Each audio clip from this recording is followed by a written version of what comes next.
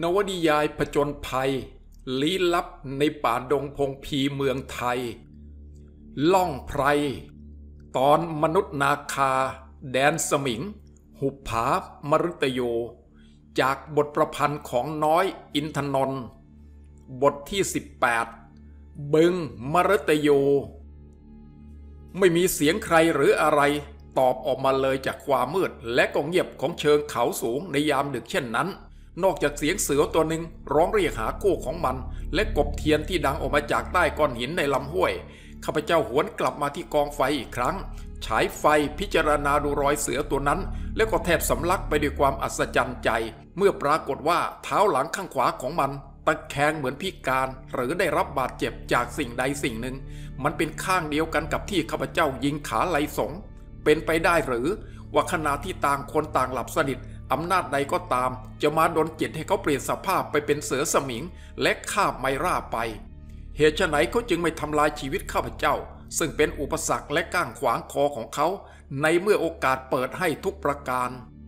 ข้าพเจ้าส่องไฟติดตามรอยเสือตัวนั้นไปจนกระทั่งถึงฝั่งห้วยตรงกันข้าม ก็จำเป็นต้องเลิกพยายาม เมื่อรอยนั้นเลือนเข้าทุกทีเพราะพื้นที่เป็นดินแข็งและปราศจากรอยเลือด หรือสิ่งใดจะเป็นเครื่องหมายชี้ทิศทางได้ กลับมานั่งกอดเข่าฟังเสียงนกระวังไพร และเสียงคึกๆของภูเขาไฟที่เบาลงทุกขณะ จนกระทั่งดาวกัลประพฤกขึ้น จึงได้ลุกไปล้างหน้า รอจนเวลาสว่างพอมองเห็นทางได้ถนัด จึงพยายามออกติดตามไมร่าอีกครั้ง ภายหลังที่พยายามสำรวจฝั่งห้วยตรงกันข้ามอยู่อีกครู่ใหญ่ ๆ ก็ได้ผลเป็นที่น่าพอใจ เพราะปรากฏว่ามีรอยเท้าของไมร่าซึ่งถูกเสือคาบขีดเป็นทางไปตามพื้นดิน ความสนใจของข้าพเจ้าในเวลานั้น ไม่ได้อยู่ที่ว่าหล่อนสิ้นใจแล้วหรือยังมีชีวิตอยู่ หากแต่ต้องการติดตามให้ทันเท่านั้นถ้าไมราตกเป็นเหยื่อของมันจริง อย่างไรเสียก็คงจะพบซากศพไม่ห่างไกลออกไป อาจจะเป็นในระหว่างซุ้มไม้ที่ลับตาของป่า ซึ่งปกคลุมอยู่รอบเชิงเขาข้างหน้า หรือมิฉะนั้นก็แห่งหนึ่งแห่งใดในลำห้วย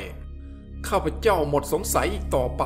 ว่าเสือตัวนั้นจะไม่ใช่ไลสง สุดวิสัยที่จะอธิบายได้ก็แต่ว่าอำนาจลึกลับมหัศจรรย์อันใด สามารถเปลี่ยนแปลงมนุษย์ให้เป็นสัตว์เดรัจฉานได้เช่นนั้น ประมาณอีก 500 เมตรต่อมาข้าพเจ้าก็พบเศษผ้าชายเสื้อของไมราติดอยู่ที่หนามเหี่ยวข้างทาง หยุดยืนฟังเสียงต่างๆ ของป่าอยู่ครู่หนึ่งก็ไม่ปรากฏว่าเสียงนกเสียงลิง ข้าง แก้ง จะให้สัญญาณอันตรายแต่อย่างใด กำลังตกลงใจอยู่ว่าจะตัดลงห้วย ก้าวไปสกัดทางเชิงเขาข้างหน้า หรือพยายามติดตามรอยนั้นต่อไป ก็พอดีได้ยินเสียงก้อนหินเล็กๆ ก้อนหนึ่งกลิ้งลงมาจากเชิงเขาด้านขวามือ ข้าพเจ้าฟุบลงหลังพุ่มไม้ข้างทางในทันที สายตาจับอยู่ที่เบื้องหลังก้อนหินใหญ่ คาดหมายอยู่ทุกขณะว่าถ้าได้เผชิญหน้ากับเสือร้ายตัวนั้น ในวินาทีหนึ่งวิธีใดต่อไปก็ได้ ทุกสิ่งทุกอย่างเงียบอยู่ราวอึดใจหนึ่งเต็มๆ ครั้นแล้วหินก้อนเล็กๆ ก็ร่วงพลูลงมาตามเนินอีก พร้อมกับกิ่งไม้ ซึ่งเป็นฉากกำบังหินใหญ่ก้อนนั้น เริ่มไหวนิดๆ ต่อมาสิ่งหนึ่งซึ่งข้าพเจ้าคิดว่าเป็นเท้าหน้าของมันก็โผล่ออกมา จากนั้นก็ศีรษะท่ามกลางภูมิประเทศซึ่งกึ่งสว่างกึ่งมืดเช่นนั้น เป็นการสุดวิสัยที่ข้าพเจ้าจะหมายที่สำคัญได้ นอกจากพุ่มไม้ที่ไหวและมือที่สั่นทำให้ศูนย์ปืนสั่นพร่าในตาแสบเพราะความอดนอน ถึงกระนั้นข้าพเจ้าก็ยิงหมายระหว่างตา เสียงร้องโอยดังขึ้น เกือบไม่ทันที่เสียงปืนของข้าพเจ้าจะสิ้นสุดลง แล้วร่างร่างหนึ่งก็กลิ้งลุ้นหลุนลงมานอนนิ่งอยู่ข้างโคนต้นไม้ข้างหน้าข้าพเจ้าวิ่งไปหาด้วยความตกใจแทบสิ้นสติ พอถึงก็คุกเข่าลงพลิกให้หงายหน้าขึ้น เปล่าตาเกิลไม่ได้รับบาดเจ็บที่ไหน เพราะดีหนักหนาที่กระสุนนัดนั้นถูกกิ่งไม้ที่ขวางหน้าแกอยู่ฉลบไปทางหนึ่ง แม้กระนั้นกระเหรี่ยงเท่าก็หลับตาปี ครวญครางเสียราวกับว่าได้รับบาดเจ็บแผลชะกันเจ็บปวดสิ้นดี ไม่ถูกสักหน่อยเดียวร้องเป็นวัวเป็นควายไปได้ ข้าพเจ้าดุโอ้ย ถ้าถูกแล้วก็นายจะได้ยินตาเกิ้นร้องเลยก็ทำไมซุ่มซ่ามขึ้นไปเป็นเสืออยู่หลังก้อนหินนั่น รู้หรือเปล่าฉันกำลังติดตามแหม่มไมร่าถูกเสือคาบมา ตาเกิ้นก็พานายห้างตามนายก็แหม่มไมร่าตั้งแต่วาน พอทันกันเข้าสินายจะเอาตาเกิ้นทำเสือซะแล้ว หมอสมิธอยู่ไหน ยังไม่ทันที่ตาเกิ้นจะทันต่อประการใด เสียงด็อกเตอร์สมิธก็ร้องลงมาหลังก้อนหินใหญ่ คุณศักดิ์ผมอยู่นี่ บอกถึงว่าเมื่อกี้ยิงอะไร ไมร่าของผมอยู่กับคุณหรือเปล่า ข้าพเจ้ารอจนด็อกเตอร์สมิธพาร่างอันอุ้ยอ้ายไต่เนินเขาลงมาสมทบพร้อมกัน แล้วก็บรรยายเหตุการณ์ที่เกิดขึ้น ให้ฟังแต่ย่อๆ พลางก็บอกว่า ผมคิดว่ามิสซิสสมิธยังไม่ตาย เพราะตลอดทางไม่มีรอยเลือด ที่พอจะแสดงว่าได้รับบาดเจ็บแต่อย่างใด นอกจากนั้นถ้าเสือตัวที่ว่าเป็นไรสงจริง ยังไงเสียก็คงไม่ทำอันตรายเป็นอันขาด โอ้ไม่กอดป่านนี้มีแต่เรื่องประหลาดอย่างที่ไม่เคยเห็น เป็นไปได้ยังไงที่คนจะกลายเป็นเสืออย่างไรสง เป็นไปได้หรือไม่ได้มันก็เป็นไปแล้ว ผมยังอธิบายเหตุผลอะไรไม่ได้หรอก จนกว่าเราจะตามเจอมิสซิสสมิธโอ้ผมคิดว่าทุกคนจะตกเป็นเหยื่อของลาวาภูเขาไฟไปแล้ว แต่ก็ยังเฉลียวใจว่าคุณซากกับไมราคงจะพาชีวิตรอดมาได้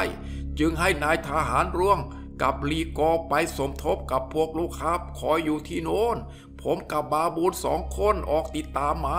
เดี๋ยวนี้กลับพบแต่คุณซาก ไม่พบไมราของผม เราจะทำยังไง เสือตัวนั้นไม่ได้ทิ้งรอยไว้เลย ข้าพเจ้าอธิบาย นอกจากรอยเท้าของมิสซิสสมิธขีดเป็นทางไป นั่นเป็นความหวังอย่างเดียวที่เราจะติดตามไปได้ ตลอดเวลาตะเกิลซึ่งสำรวจตัวของแกเองจนแน่ใจว่าไม่ขัดยอกหรือแตกหักที่ไหนแล้ว ก็วิ่งพล่านไปรอบๆบบริเวณนั้น เหมือนสุนัขไล่เนื้อ ดมได้กลิ่นของเหยื่อมัน สักครู่แกก็หยุดอยู่ที่ปากทางขึ้นเนินเขา หันมาควักมือเรียกข้าพเจ้า มาดูเนียนแน่นายแกบอกทั้งดรสมิธและข้าพเจ้าวิ่งเหย่าไปจนถึงตัวแก ตาเกิลชี้ให้ดูเส้นผมสีทอง ซึ่งเป็นของไมราติดอยู่ที่กิ่งไม้ข้างทาง พลางก็พึมพำว่า มันไปทางเนี่ย บางทีจะอยู่ในพุ่มไม้ข้างหน้าโน้น แต่บางทีมันก็อาจจะข้ามสันเขาลงไปข้างล่างโน่นแล้วละแต่เศษผ้าหรือเส้นผมของไมราไม่บอกอะไรเราเลย เกี่ยวกับการอยู่หรือการตายของไมราสมิธนอกจากแนวทางที่หล่อนถูกเสือตัวนั้นฆ่าไป ดรสมิธรับเส้นผมนั้นมาจากตาเกิลและก็ทำตาแดงๆ เหมือนจะร้องไห้ ผมของไมราบาบูนจ๋าเส้นผมสุดท้ายของเมียฉันตาเกิลส่งปืนไรเฟิลแฝดคู่มือของข้าพเจ้า ซึ่งเอาติดตัวมาด้วยให้พลางพยักหน้า ตาเกิลเดาถูก ยังไงเสียมันก็คงไม่พ้นคนหุบเขาข้างหน้าไปได้หรอก คงไม่ใช่ป่าข้างหน้า เพราะตักเกิลก็ในห่างเพิ่งผ่านมาเมื่อตะกี้นี้เอง ไม่มีอะไร ไม่พบไม่เห็นอะไรด้วยกำลังที่เราถกเถียงกันอยู่ว่าจะเลือกเอาทางไหนนั่นเอง เสียงคำรามของเสือใหญ่ตัวหนึ่งก็ดังขึ้นมาจากก้นห้วยในหุบเขาข้างล่าง มีเสียงของอีกตัวหนึ่งดังต่อไปจากยอดเขา เรามองตากันอย่างอัศจรรย์ใจ ตาเกิ้ลเงี่ยหูฟังอยู่ครู่หนึ่งก็หันมากระซิบ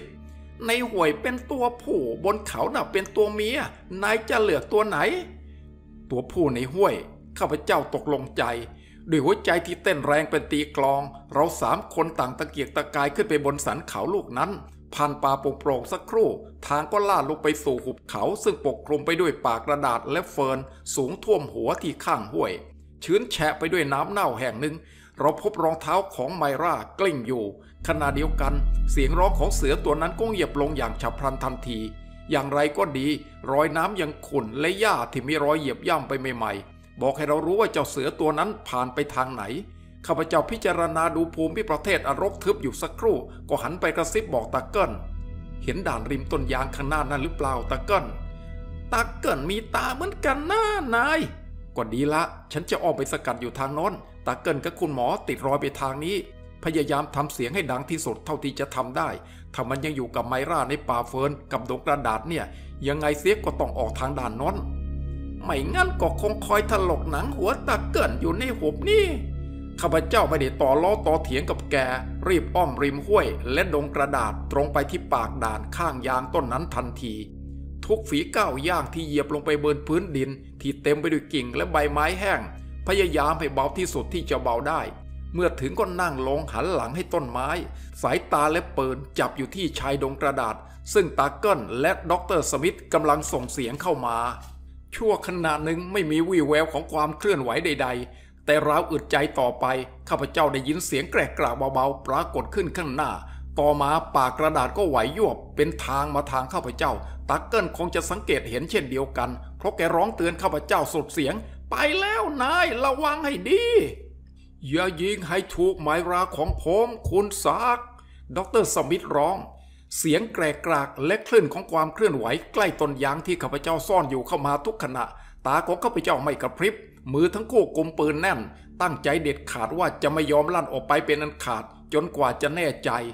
อีกไม่ถึงพริบตาต่อมา ร่างอันมหึมาของเสือตัวหนึ่งก็โผล่ขึ้นตรงหน้า ห่างจากข้าพเจ้าออกไปไม่ถึง 19 แต่ไม่มีวี่แววของไมราข้าพเจ้าและมันจ้องตากันอย่างไม่กระพริบอยู่อึดใจหนึ่งเต็มๆ สัญชาตญาณเตือนบอกให้ข้าพเจ้าสังหาร แต่ในขณะเดียวกันก็ไม่รู้ว่านี่ไม่ใช่เสือตัวที่ฆ่าไมราสมิธลักษณะของมันบอกว่าเป็นเสือแก่ แต่กิริยาท่าทีไม่มีอะไรพิการหรือผิดปกติไปจนนิดเดียว เราจ้องดูกันและกันเช่นนั้นอยู่สักประเดี๋ยวมันก็หันกลับ และพร้อมกับคำรามสับทับขนหนึ่ง แล้วก็โจรแผลวหายไปในป่ารกทางฝั่งห้วยขวามือ เสียงตะเกิลร้องตะโกนมาอีกว่า ยังไม่ออกอีกเลยนาย เมื่อตะกี้ตะเกินมองเห็นตัวลายๆใช่มันแน่ๆทีเดียวนะ แต่ไม่ใช่ตัวที่ข้าแม่ไมราตะเกิลพาคุณหมอออกมาเถอะเดี๋ยวต้องเริ่มต้นกันใหม่อีกครั้ง แต่ภายหลังที่สำรวจดูร่องรอยตรงที่ลุ่มชายดงกระดาษ ข้าพเจ้าก็แน่ใจว่าเสือตัวนั้นข้าไมราผ่านไปก่อนหน้าที่จะได้เผชิญกับเสือแก่เมื่อกี้ ตรงนี้อีกเหมือนกันที่สัญชาตญาณเตือนบอกว่าไมราสมิธยังไม่ตาย เพราะมีรอยเท้าที่เปลือยเปล่าของหล่อนย่ำอยู่สับสน เหมือนพยายามดิ้นรนต่อสู้จะให้พ้นจากเสือตัวนั้น ดรสมิธถอนใจเฮือก เมื่อข้าพเจ้าอธิบายข้อสันนิษฐานให้ฟัง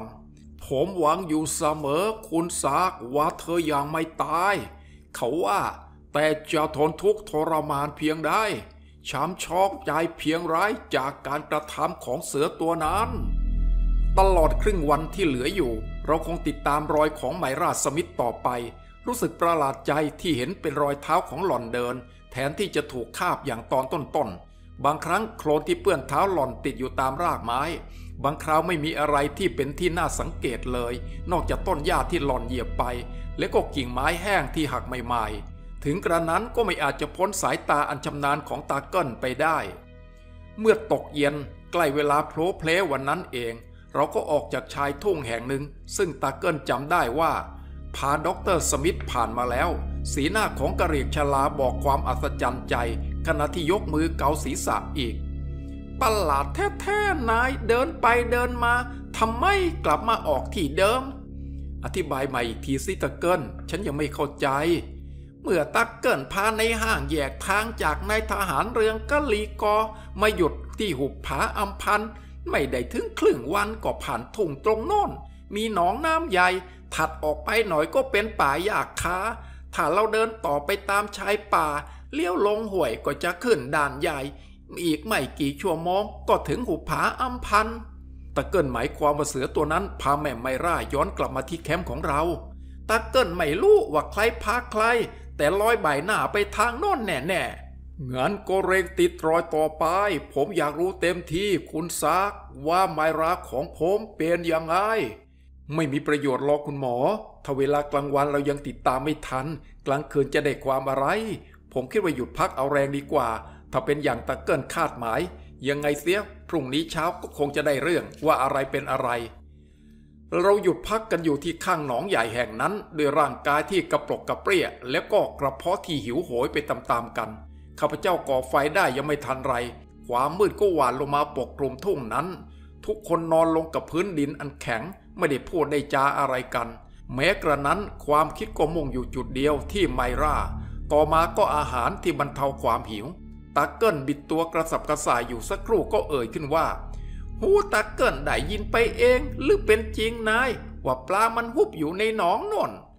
ระวังบาบูนว่ามันจะเป็นปีรัญญาที่กินคนของเราในหุบเขาอัมพัน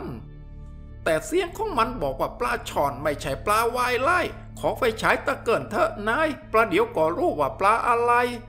แกผุนพลันลุกขึ้นอย่างกระปรี้กระเปร่า ก่อนที่ข้าพเจ้าจะทันห้ามหรือออกความเห็นอะไร แกก็คว้าไปฉาย แล้วก็มีดคู่มือก้าวลงไปในหนองนั้นแล้ว ชั่วครู่ใหญ่ๆ แสงไฟฉายกลายกระท้อนอยู่เหนือพื้นน้ำในหนอง ได้ยินเสียงแกพึมพำและเสียงน้ำแตกกระจาย เมื่อถูกคมมีดของแกตาเกิลก็ร้องบอกขึ้นมาว่าสองตัวแล้วนาย ทีนี้ไม่อดตาย ของนายหนึ่งตัว ในห้างหนึ่งตัว ต่อไปก็เป็นของตาเกิลเอง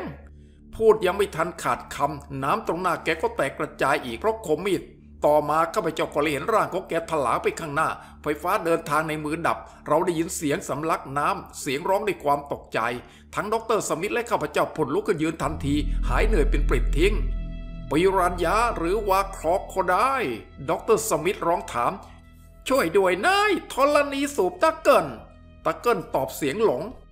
ข้าพเจ้าตกใจจนตัวชาเมื่อได้คิดว่าโดยบังเอิญอย่างหนึ่งอย่างใดก็ตาม ตาเกิลคงจะตกลงไปในหลุมโคลนดูดเข้าแล้วทำกลางความมืดเหมือนสีหมึกนั้น ไฟฉายในมือของแกสว่างวาบขึ้นอีกครั้งหนึ่งส่องให้เห็นสภาพอันน่าหวาดเสียว ที่แกกำลังตกอยู่ในปลักนั้นขณะนั้นตาเกิลเหลืออยู่แค่คอ พยายามกระทุ่มน้ำและตะเกียกตะกายจะให้เท้าหลุดพ้นขึ้นมา จากหลุมโคลนโดยสุดกำลัง แต่ยิ่งดิ้นก็ยิ่งถูกดูดจมลึกลงไปถึงคาง มือทั้งสองของแกขวักไขว่ไฟฉายวูบว่าไปทั่วทั้งหนอง เสียงแกเต็มไปด้วยความตกอกตกใจอย่างน่าสยดสยองพองขน โอ้ยตาเกินกำลังจะตาย ตาเกินไม่ได้ทำบาปกรรมอะไร นอกจากฆ่าสัตว์ตัดชีวิต กับมียายหลายคนเท่านั้น ช่วยตาเกินด้วยสินาย